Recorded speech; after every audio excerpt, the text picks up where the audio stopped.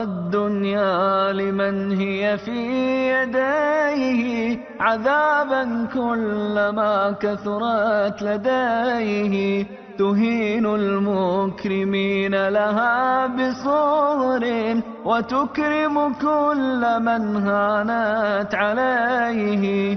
إذا استغنيت عن شيء فدعه وخذ ما أنت محتاج إليه. بسم الله الرحمن الرحيم. أهلا ومرحبا بكم مشاهدينا في كل مكان. بيت القصيد عبر شاشة قناة طيبة الفضائية. أهلا بكم. ونرحب بضيف حلقات البرنامج فضيلة الشيخ الدكتور الطيب محمود عبد القادر. أهلا وسهلا ومرحبا بك. وعليكم السلام ورحمة الله وبركاته أستاذ خليل. حياك الله دكتور ونحن نتجول في أبواب الشعر المختلفة ما بين الحكمة وما بين آه، الوصف. اليوم إن شاء الله سنتحدث عن شعر الوصف ونتناول واحدة من القصائد الرائعة التي تصف الحياة وتصف الطبيعة. آه، بداية كمدخل لهذه الحلقة شعر الوصف لعله هو يعني يصف الحال يصف الحياة يصف ما يراه الإنسان عموما. الحمد لله رب العالمين صلى الله على رسول الأمين نبينا وحبيبنا محمد بن عبد الله وعلى آله وصحبه ومن اهتدى بهداه. الصلاة والسلام ال- الوصف من ال- الأمور التي يعرف بها الإنسان. نعم تصف الشيء ال- ال- بهذا الوصف يعرف ذلك الموصوف. والشعراء بارعون في هذا والشعراء ملهمون والشعراء أيضا أمراء الكلام. لذلك لا يصف شاعر شيئا إلا وقال المختص قد صدق. يصفون الأشياء وصفا دقيقا. هذا الوصف إذا كان وصفا معنويا أو وصفا حسيا. وكذلك يستنطقون الأشياء يستنطقون الأشجار يستنطقون الحجارة يستنطقون الماء يستنطقون الكواكب يستنطقون النجوم. وهكذا. يخرجون الأشياء أحيانا بل الشيء غير الجميل يصفرون بمظهر ال- الجميل. وهذا معروف في ال- في البلاغة. نعم. نعم. فهنالك ال- ال- الشعر له ضروب كثيرة. والوصف أمر أمر أمر مهم جدا. نعم. والوصف قد يكون قد يكون وصف ألوان وقد يكون وصف صفات صفات معنوية. ال- ال- اللون يرى.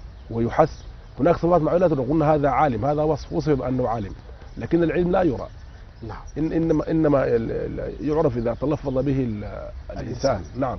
نعم. المرء مخبون تحت لسانه. قلت تحدث حتى أراك. حتى حتى أراك. نعم. إذا أهلا ومرحبا بكم مشاهدينا الأحباب ومعا إلى قصيدتنا في هذه الحلقة. هذا النموذج لشعر الوصف. ورحلت ثم مهاجرا في قالب في قارب الأمل السعيد. ورحلت ثم مهاجرا في قارب الأمل السعيد.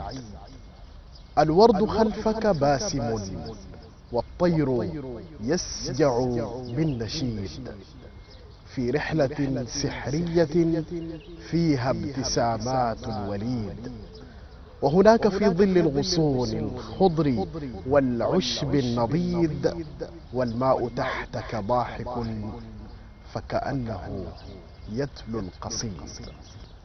تفضي بسرك آمنا وتعيش بالقوت الزهيد. ما دام قلبك عامرا بالنور في كنف الحميد. وهناك وهناك تعلم موقنا أن التقي هو السعيد. إن السعادة أن تعيش لفكرة الحق التليد. إذا هذا هو نموذجنا لهذه الحلقة ومعا نتعرف على كثير من المعاني ونتدارس حول هذه الأبيات. أهلا بك يا دكتور طيب من جديد. ورحلت ثم مهاجرا في قالب الأمل السعيد ربما نقف وقفة نحوية ومن ثم وقفة بلاغية أو آه، حول معاني هذه الأبيات. هو هذا الشاعر يخاطب شخصا ما لم يحدد هذا الشخص. نعم. وقلت آه، يخاطب شخصا لأن كلمة شخص يستوي فيها الذكر والأنثى. المرأة شخص والرجل شخص ويخاطب شخصا ما. نعم. رحلت ثم مهاجرا وثم بمعنى هناك وإذا رأيت ثم رأيت نعيما وملكا كبيرا ثم مهاجرا. ومهاجر هنا حال. أي هو رحل مانع هذا الرحيل؟ رحل مهاجرا. نعم رحلت مهاجرا. هنا هنا المعروف رحلت فعل ماض. وفعل ماض. وهنا رحلت ال- ال- المخاطب هنا. هو ضمير مستتر تقديره أنت. رحلت أنت. رحلت ال وثم بمعنى هناك مهاجرا حال. نعم نعم. رحلت ثم مهاجرا. نعم. نعم. في قارب الأمل السعيد. طيب ننتقل إلى الجانب ال- ال- ال- الجانب المعاني. نعم. وأنا أريد ان أن نبدأ بمهاجر هذه نفس نفسها. نعم. ولعل- هنا حقيقة أستاذ خليل نعم. أنا ما ما أحببت أن ندخل المشاهد في تعقيدات نحوية. نعم. فإذا قلت؟ رحلت رحلت ال ال ال هنا الرحل تاء معث هنا ال- ال- ال- اللام ساكنة. أصلا رحل هي. صحيح. رحل. نقول فعل الماضي؟ إذا اتصل بضمير بضمير المخاطب يبنى على السكون. لكن هو حقيقة هو هو مبني على الفتح. نعم. منع من الفتح ظهور الفتح. السكون العارض. لدفع كراهية توالي الأمثال. أنا قلت رحلات بتتوالي الأمثال يكون في ثقل. نعم وسكنت هذه هذه اللام. لكن الأصل في الفعل ال- ال- الماضي أنه مبني على الفتح. اللي هو رحل باعتباره نعم. نعم هو أصله مبني على الفتح. نعم. وحقيقة ال- ال- ال- النحو آه، مذاهب. نعم. وباب نعم. كبير. كب- كبير. إذا أردنا أن نقف مع كلمة واحدة ربما حلقات. صحيح. طيب آه نذهب إلى الجانب المعنوي في أو مع المعاني في هذه القصيدة. رحلت ثم مهاجرا. والهجرة يعني آه، نحن نعرفها في التاريخ. نعم. نعم. الهجرة هو انتقال من مكان إلى مكان. والهجرة قد لا تكون بالانتقال قد تكون بالترك. مثلا الرسول صلى الله عليه وسلم قالوا له ما المسلم؟ قال من سلم المسلمون من لسان ويده قال له ما المؤمن؟ قال من أمنه الناس على أموالهم وأنفسهم. قالوا ومن المهاجر؟ قال من هجر المعاصي. فقد يأتي الهجرة ويراد به الترك. أو الانتقال من مكان إلى مكان. نعم. طيب التعبير هنا في في في عجز في عجز البيت في قارب الأمل السعيد. نعم. وهنا واضح أن هذه الرحلة في في في الماء. نعم. في نهر أو في بحر لأنه قارب نتكلم عن قارب. وإن كان المسألة هي هو نقل هو تص- تصوير تصوير لشيء كان هو كلها معاني لكن صورها بأشياء محسوسة. وهو في في في القارب وصف القارب بأنه سعيد. وقارب أمل. أيوه. و- وال- والقارب الأمل السعيد. وصف الأمل بأنه سعيد. وهذا دفع لأنه الأمل قد لا يكون سعيدا. لأنه ورد في لك ويلههم الأمل فسوف يعلمون. هنا الأمل ليس سعيدا. انما إنما طول الأمل في الحياة. طول الأمل. وقالوا طول الأمل يورث يورث الكسل. بعد يقول لك والله أنا سأفعل ويؤجل. حتى حتى في الاستقامة. بعضهم يقول أنا سأستقيم لكن ليس الآن. أنا أمضي حياتي. إذا كبرت بعد ذلك نعم. وهذا وطول الأمل في الإنسان هذا لا يكبر ال- ال- القلب يظل شابا في طول الأمل. لا يزال القلب الكبير شابا. في ماذا؟ في في من من هذه الأشياء طول الأمل.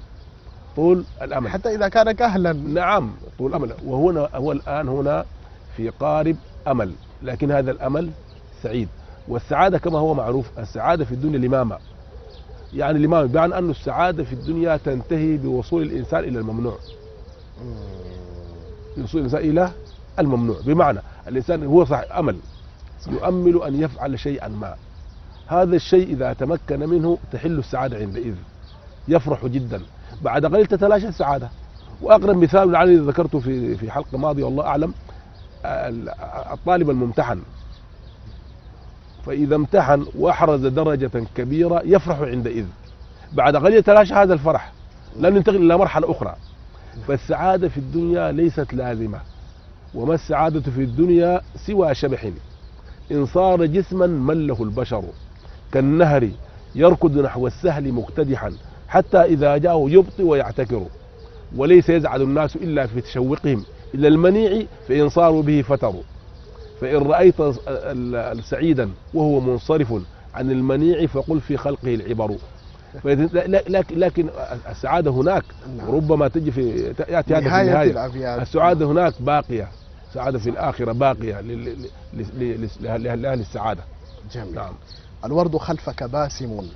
والطير يسجع بالنشيد كمثل هذا الطير الذي كلام نعم لا، وحقيقة وهذه مناسبة طيبة.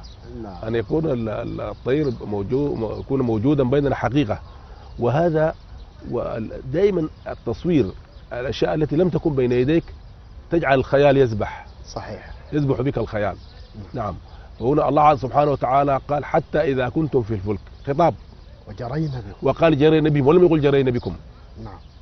جرينا بهم. نعم لأن إذا قال سبحانه جرينا بكم. أن تقول أن أنا لست في البحر الآن أنا الآن في البر.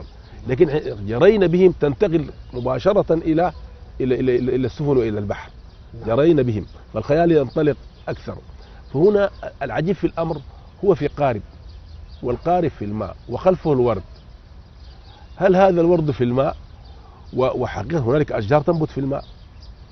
ورأيناها تنبت في الماء الأشجار. في الماء أم على نعم تنبت في ال- ال- ال- ال- الماء وتسير داخل الماء وبعضهم يعوق الملاحة.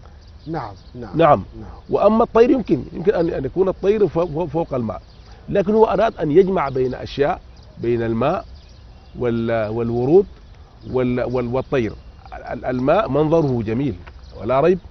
الورد رائحته طيبة والطير صوته أيضا صوته جميل ومنظره جميل كذ- كذلك. فهو في في في وضع كله كله كله سرور. يصف وكله هذا. سعادة. قار- قاربه سعيد. نعم. ومعه الورد ومعه الطير ومعه الماء. نعم. نعم. في رحلة سحرية فيها ابتسامات الوليد. آه. ولما نذكر دائما لما نذكر السحر يعني يريد مبالغة في في الشيء. نعم. مبالغة في جمال الشيء. كأنه سحر أو كأنه لا يمكن أن أن, أن يكون. والسحر أيضا له له مع- معاني كثيرة. ال- أحيانا لا يراد به السحر المعروف. نعم. طيب هنا ما في أجمل من ابتسامة الوليد. نعم. ابتسامة الطفل الغرير هذه ابتسامة جميلة جدا ويحسها ال- الوالدان. صحيح. ابتسامة جميلة وابتسامة بريئة. وليس فيها تكلف. صحيح. وقلبه خرجت من قلب مؤمن ولا لا لا يشك أحد في أن الطفل مؤمن. الكبير قد يكون منافقا. لا ندري بهذا. قد يكون في قلبه الغل والحقد كل هذه ليست موجودة ابدا في قلب الطف- الطفل. بريء. نعم لأن كل مولود يولد على الفطرة على فطرة الإسلام. نعم. هو الطفل إلى أن يبلغ الحلم. فهو إذا ما ما يخرج منه ويخرج من قلبه وقلب سليم. ابتسامة خرجت من قلب سليم. نعم ومن طفل من طفل غرير. وليد نعم. وليد بمعنى مولود. نعم. نعم النبي صلى الله عليه وسلم في الدعاء يقول اللهم كلاءة ككلاءة الوليد. أي اللهم احفظني كما يحفظ المولود. طبعا. أبواه يهتمون به يحفظونه من من الحر ومن ال- البرد برد. ومن ومن ومن كل كل خطر داهم نعم. نعم. وهناك في ظل. وهناك في ظل الغصون الخضر والعشب النضيد والماء تحتك ضاحك. فكأنه يتلو القصيد. آه وهنا هنا أتى بهناك. وقال ثم. وهذا تمكن من اللغة وتنويع. هنالك قال ثم وهنا أتى بهناك. وهناك للبعيد. معنى هذا الذي قال كأن الذي يسير في القارب لم يبلغه بعد. نقول له هناك. هو لم يبلغ هذا المقام. لكنه سيبلغه ولو تفاؤلا. يقول له فذكر هذه الأشياء التي هي هناك وعندئذ في فيها اثاره للإنسان. نعم. نعم وكذلك فيه الحث على الجد في السير وفي وفي وفي عبور هذا بهذا القارب حتى حتى نعم حتى يبلغ ذلك المكان. نعم. الذي فيه هذه الأشياء. تفضي بسرك آمنا وتعيش بالقوت الزهيد. الله. نعم يعني ال- القوت الزهيد. وهذا وه- وهذه الدنيا لا تستحق أكثر من هذا. نعم. لكن يعني مع وجود هذه الأشياء وهذه المحفزات نعم. للحياة هو هو هو, هو زاهد فيها. نعم. الزهد ليس ليس ليس بالضرورة أن يق- أن يكون الزهد هو ترك الدنيا والابدا حتى قيل سؤال الامام أحمد قال لا يكون الرجل زاهدا ومعه ألف دينار؟ قال نعم. شرط أن لا يفرح إذا زاد وأن لا يحزن إذا نقصت. هنا فرح البطر. لأن الإنسان يفرح. في أشياء المؤمن يفرح. نعم. ويبل ويضحك. الله عز وجل قال على سيدنا سليمان عليه السلام قال فتبسم ضاحكا من قولها. ده هذا ورد في القرآن. والضحك فوق التبسم. فهنا لكن ليس فرح البطر ولا الحزن انه ينكر لماذا نقصت هذه هذه الأشياء. نعم. فهنا ما يبلغ الإنسان. وهناك الذين يدرسون ال- الطب أبو قراط صاحب القسم وأبو قراط اللي هو ملقب بأبي الطب وهو قالوا الذي خلص الطب من الشعوذه والدجل وما إلى ذلك وهو وهو عاش في هو قبل الميلاد عاش قبل الميلاد. ما ما- ما ما بين 300 و و 66 تقريبا إلى 460 377 فيما أدري. فيما أعلم. والله أعلم. فأبو قراط هذا قال قال, قال لا نعيش لنأكل. إنما نأكل لنعيش. لنعيش. نعم. ولا نعيش لنأكل. نعم. فهو يعيش بالقوت الزيد هناك اللهم اجعل طعام آل محمد قوتا. يا سلام. نعم. فال ال ال ال وهو ما, ما يكفي هذا وهنا الإنسان؟ القناعة. نعم. نعم. والقناعة لأن أصل ال- ال- في كلوا واشربوا ولا تسرفوا وهنا قال ال- العلماء قالوا هذه الآية لم تبقي لجالنوس أطباء هو أمير الأطباء. قال ما أبقت للآية طبا. كلوا واشربوا ولا تسرفوا. فيعيش بالقوت الزيد وهذا رضا. وهذه بلاغة يعني نعم، رضا القرآن وق- الكريم وقناعة. وإعجاز حتى إعجاز للقرآن. الله أكبر. نعم. إعجاز. نعم ولا تسرفوا. نعم. نعم. ما دام قلبك عامرا بالنور في كنف الحميد وهناك تعلم موقنا أن التقي هو السعيد إن السعادة أن تعيش لفكرة الحق التليد. نعم. والله هنا كأنه في في في في, في شيء دخل عرضا. لأن هناك في كنف الحميد هناك إذا هناك ربما يكون هناك في الدار الآخرة. نعم. لأنه المؤمن إذا بلغ الدار الآخرة خلاص وهو نجا من السعادة. نعم. إذا أمسى وسادي من تراب وبت مجاور الرب الرحيم فهنوني وصيحابي وقولوا لك البشرى قدمت على كريمي. يا سلام. ففي كنف الحميد. سبحانه وتعالى. هناك منتهى منتهى السعادة. هناك يعلم قال تعلم أن التقي هو السعيد. ربما الإنسان لا يعلم في الدنيا أن التقي هو السعيد. قد يبتلى التقي بما, بما يشق عليه. لكن أيضا هذا لا ينفي السعادة منه لأنه السعادة تختلف عن اللذة. مقومات اللذة تختلف عن مقومات السعادة. الإنسان قد يكون سعيدا وهو مريض. وقد يكون سعيدا وهو وهو وهو جائع أو أو عطشان إلى آخره. لكن اللذة تختلف. صحيح. السعادة لا تفتقر إلى ما تفتقر إليه إليه ال- اللذة. اللذة. نعم. ف ف وال- فنعرف التقي هو السعيد هذا يعلم يوم القيامة أن التقي هو السعيد. بالادله نعم. اليوم. نحن المؤمن يعلم أن التقي سعيد لكن هذا لا يعلمه كل البشر. صحيح. نعم. دكتور الطيب محمود عبد القادر نحن والله نشكرك شكرا جزيلا. وهذه القصيدة دعونا كذلك نشكر الإخوة الكرام في موقع صيد الفوائد على الإنترنت. لعل هذه القصيدة موجودة في هذا الموقع ولعل هي لأحد الشباب اليمنيين. نحن من هنا نحييه من خلال برنامج بيت القصيد ونحيي كل الإخوة الكرام في موقع بيت القصيد بالتحديد في واحد الأدب. آه، أخذنا هذه القصيدة الرائعة الجميلة وتحية لهذا الشاب ال- الذي كتب هذه القصيدة. تبقت لنا دقيقة واحدة في نهاية هذه الحلقة. أشكر جدا فضيلة الشيخ الدكتور عبد محمود طيب محمود عبد القادر وسنعيد قراءة القصيدة مرة أخرى إن شاء الله. شكرا جزيلا لك. الله شكرا.